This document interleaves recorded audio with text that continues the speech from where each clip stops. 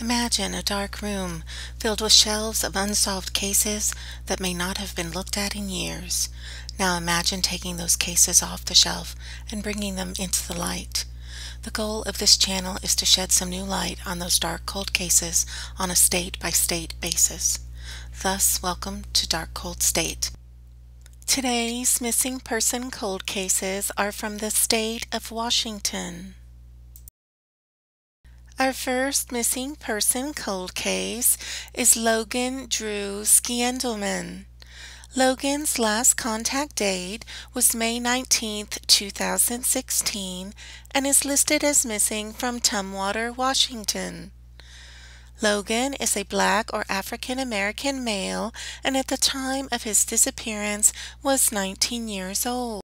His height was 6 feet 0 inches and he weighed approximately 170 to 190 pounds.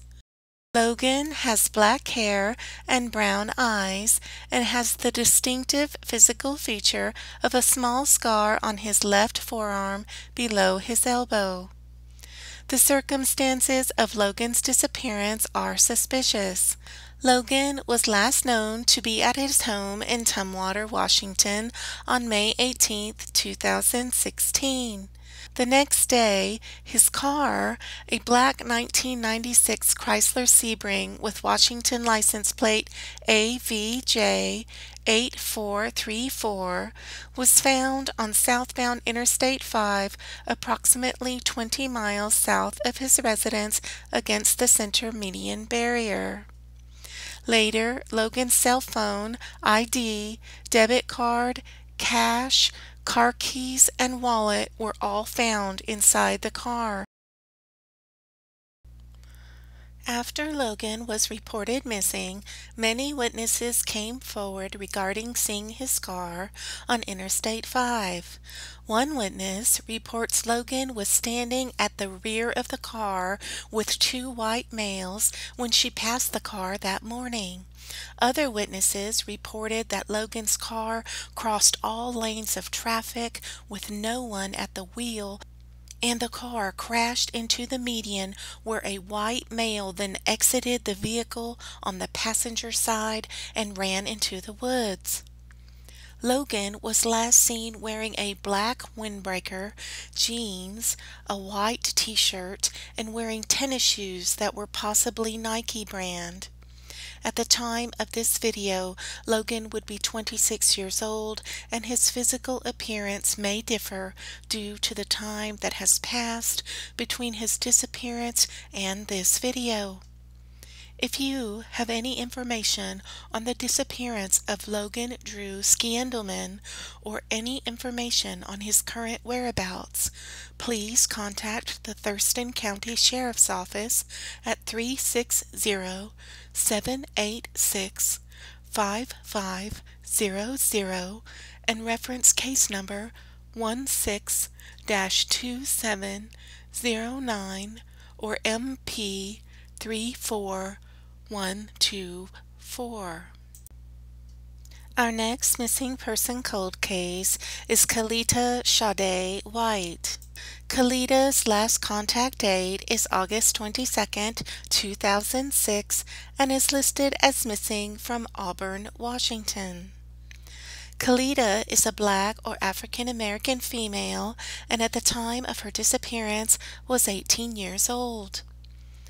Caleta has black hair and brown eyes, and at the time of her disappearance, she had red tips in her hair.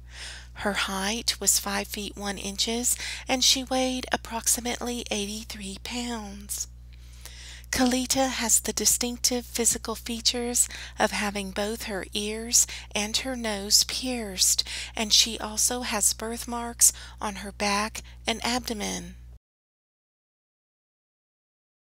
Caleta was last seen on the afternoon of August 22, 2006 on Metro Bus number 128. It is believed she was headed to her boyfriend's residence in Tukwila, Washington. Caleta was last seen wearing a yellow Adidas jacket, blue jeans, yellow sneakers or boots, and earrings. At the time of this video, Caleta's age would be 35 years old and her physical appearance may differ due to the time that has passed between her disappearance and this video. If you have any information regarding the whereabouts of Caleta Sade White or information related to her disappearance, please contact the Auburn Police Department at 253 931 3080 and reference case number 06 10671 or the Washington State Police Missing Persons Unit at 1 800 543 5678. Our last missing person cold case for this week is Edith Margaret Claver. Many sources list Edith's last contact date as November 27, 2009. Please note, however, that the Washington State Patrol Missing Persons poster has her missing since December 25th of 2009. Edith is originally from British Columbia, Canada, and resided in Des Moines, Washington at the time of her disappearance. However, she is listed as missing from Renton, Washington. Edith is an American Indian female and at the time of her disappearance was 47 years old. Edith has black hair and brown eyes, and her height is 5 feet 4 inches and she weighs approximately 150 pounds. Edith has the distinctive physical features of a burn scar on her right forearm, a scar on her left eyebrow, and scars on the lower portions of her legs. The circumstances of Edith's disappearance are unknown. Witnesses saw Edith on November 27, 2009, as she left the Ukrainian Christian Center in the 200 block of Hardy Avenue Northwest in Renton, Washington.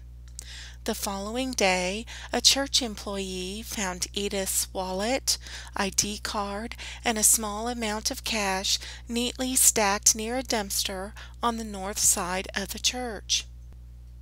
Edith was last seen wearing a blue fleece pullover shirt or jacket, blue jeans, tennis shoes, and a gold ring with the word love. It is unknown at this time if Edith is a victim of foul play or if she left the area voluntarily. Edith has not been seen or heard from since that day. At the time of this video, Edith's age would be 60 years old, and her physical appearance may differ due to the time that has passed between her disappearance and this video. If you have any information regarding the whereabouts of Edith Margaret Claver or information related to her disappearance, please contact the Renton Police Department at 425 430 7522 or the Washington State Patrol Missing Persons Unit at 1 800 543 5678.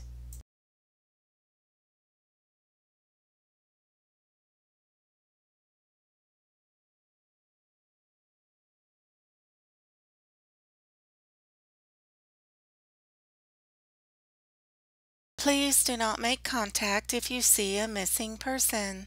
The best thing to do is call your local emergency number or if applicable one of the numbers in this video. There are also many unidentified remains found in each state.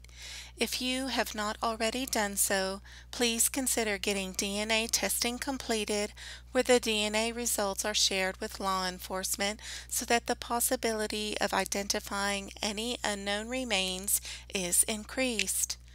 The goal of this channel is to provide attention to these cold cases.